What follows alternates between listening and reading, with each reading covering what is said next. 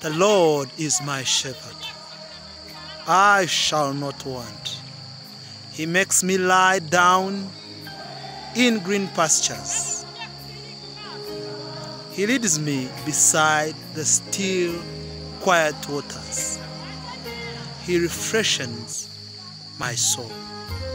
He guides me along the path of His name's sake.